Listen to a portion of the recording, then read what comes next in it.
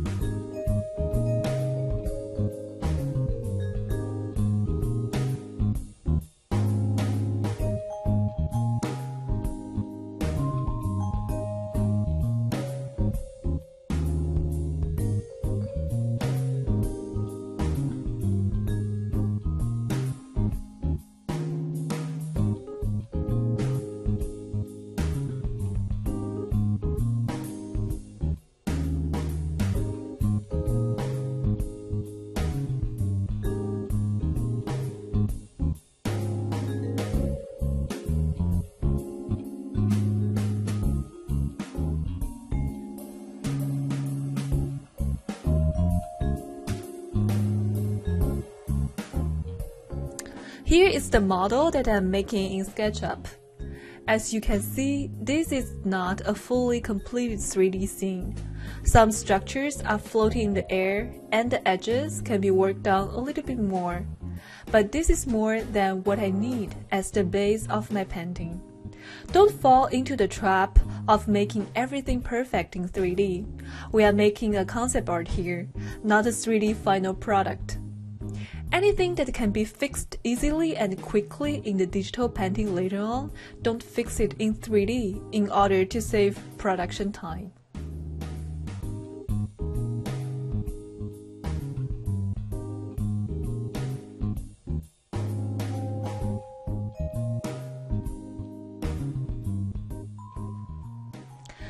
Okay, so now I'm going to talk a little bit about styles in SketchUp. Styles dedicate how your model will be displayed in SketchUp, a bit like the filter effects on images in Photoshop, if I have to make the comparison. You can see the models as line art, brushwork, simple textures, etc.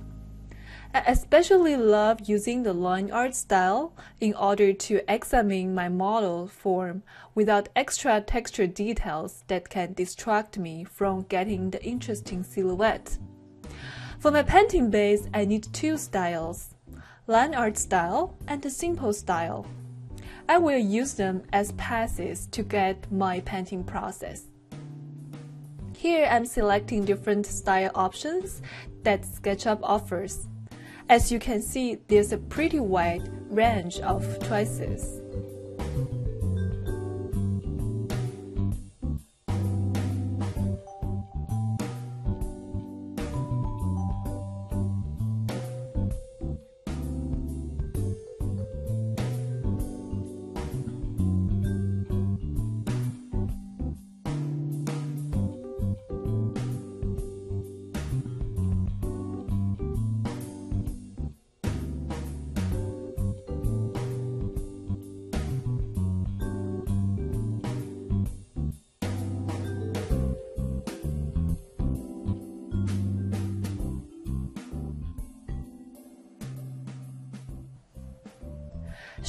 Is a powerful tool to create appealing compositions.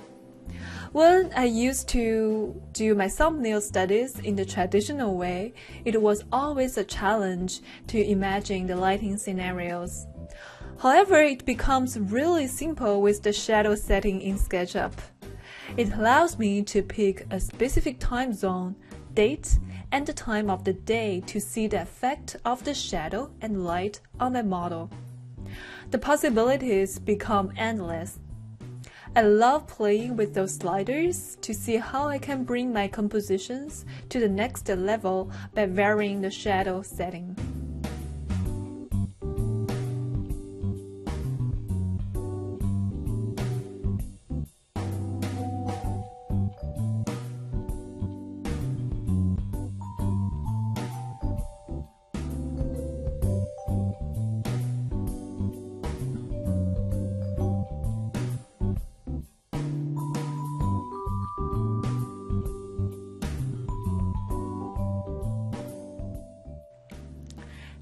Scene management in SketchUp.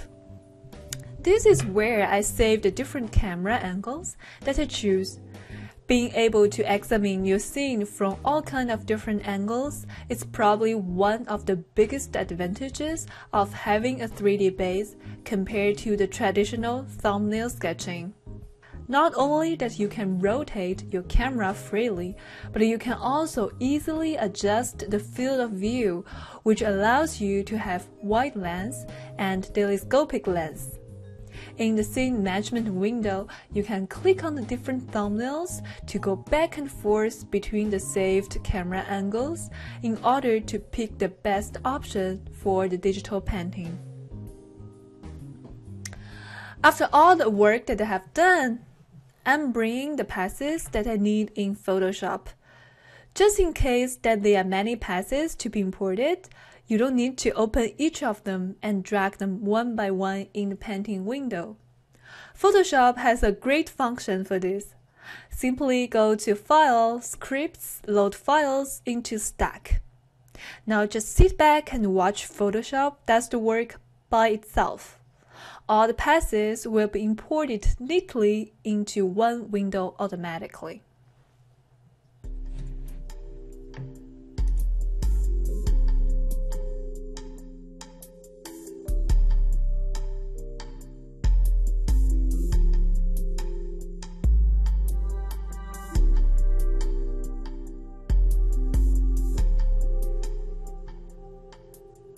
Spreading colors using a textured brush.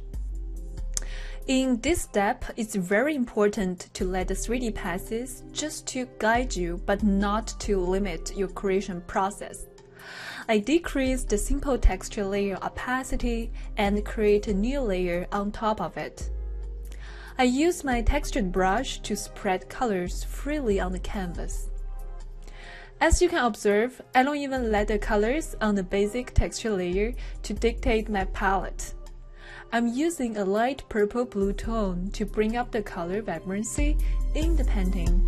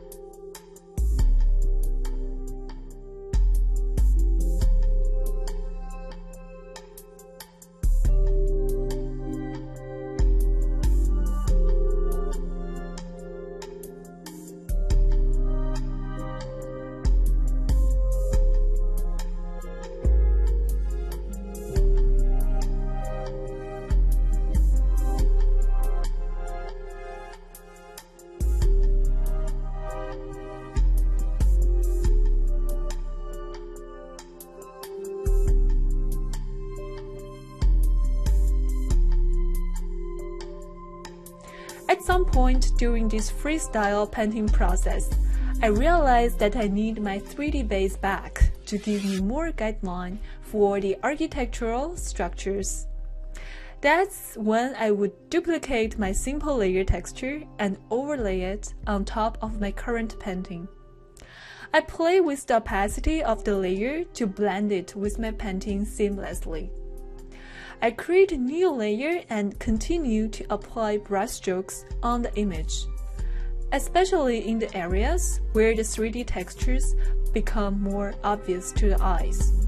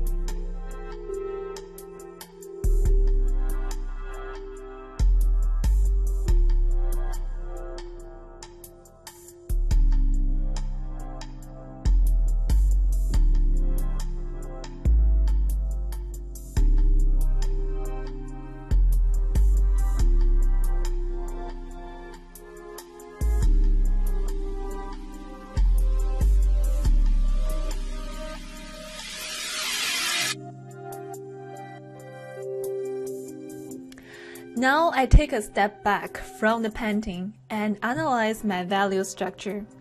I'm planning to do a backlit lighting scenario. So I would brighten the sky to pop out the silhouette of the castles.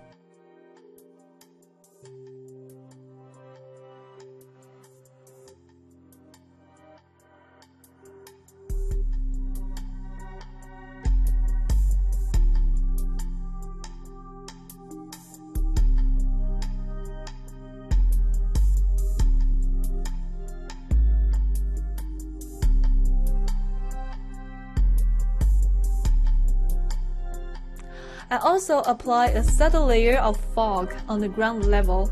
It gives the foreground more breathing space and it shows greater depth in the image.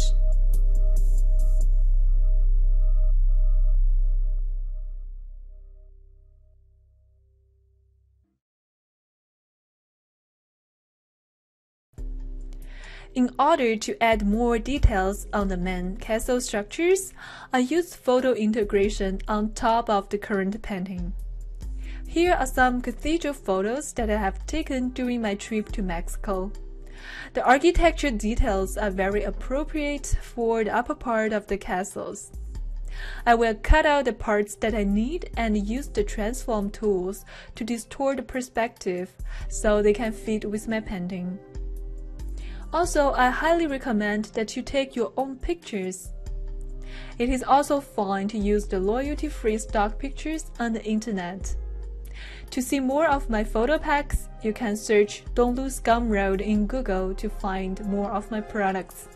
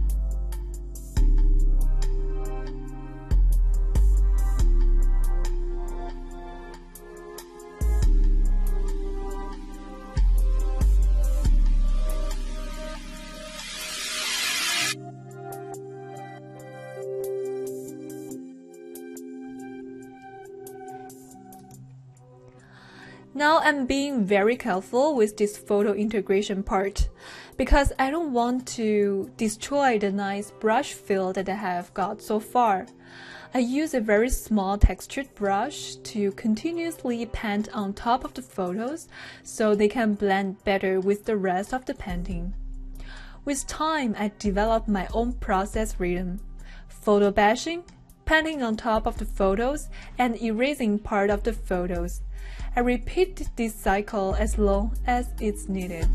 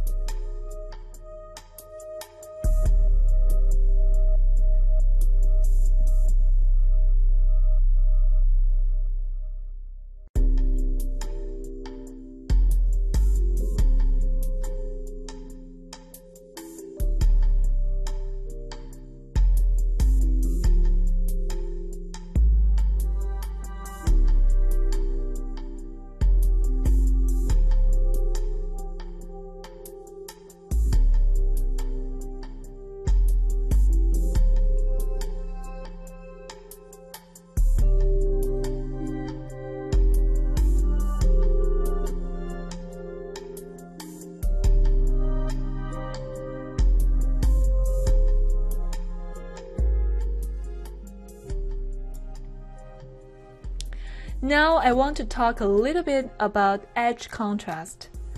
Edge contrast is one of the most important notions that I use for my painting. Because of my art school background, I love to keep the brush feel in my paintings. But how I can do it without the impression of losing details? The answer is edge contrast. Every important form, object, character in my painting needs a clean silhouette.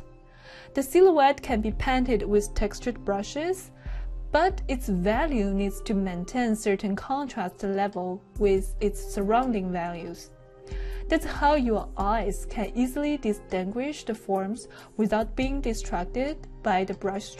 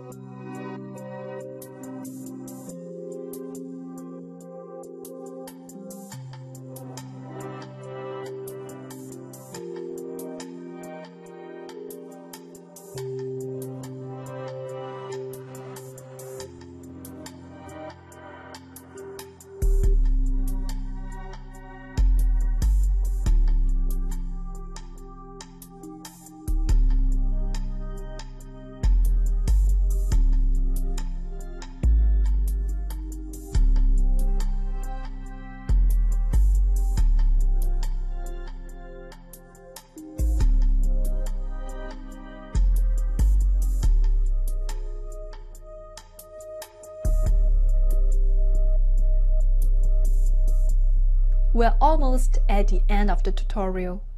At this stage, I love to add some characters to show the scale of the scene and to hint some vague storyline at the same time. I'm adding a dragon to further enhance the fancy theme of this painting.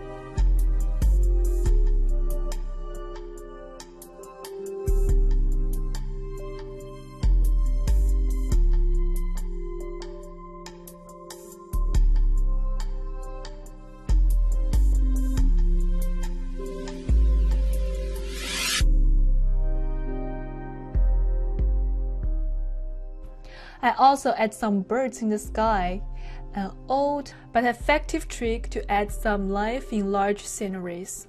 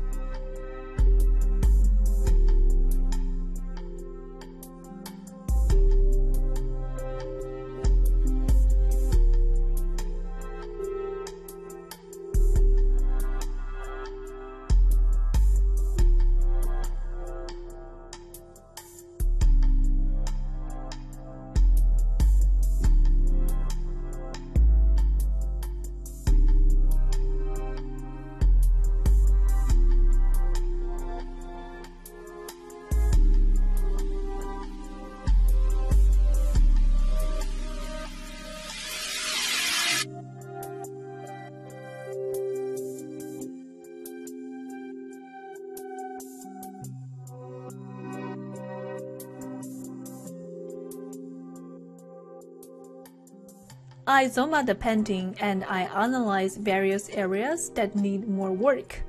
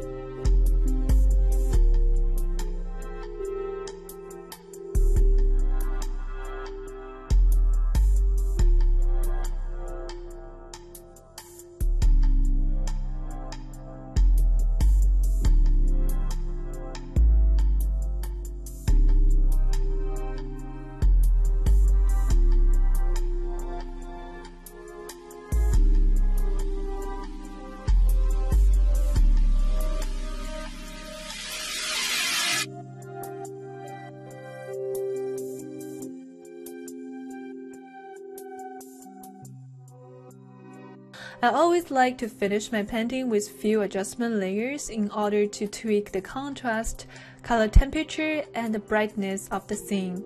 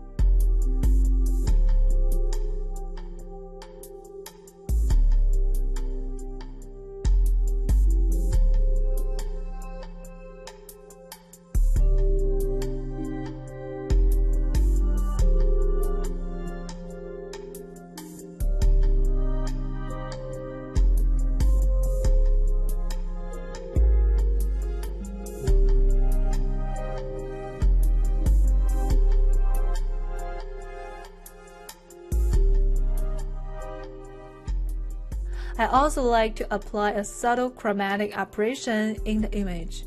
Simply go to Filter, Lens Correction, Custom, and play with the chromatic aberration sliders. I hit OK once I'm happy with the result.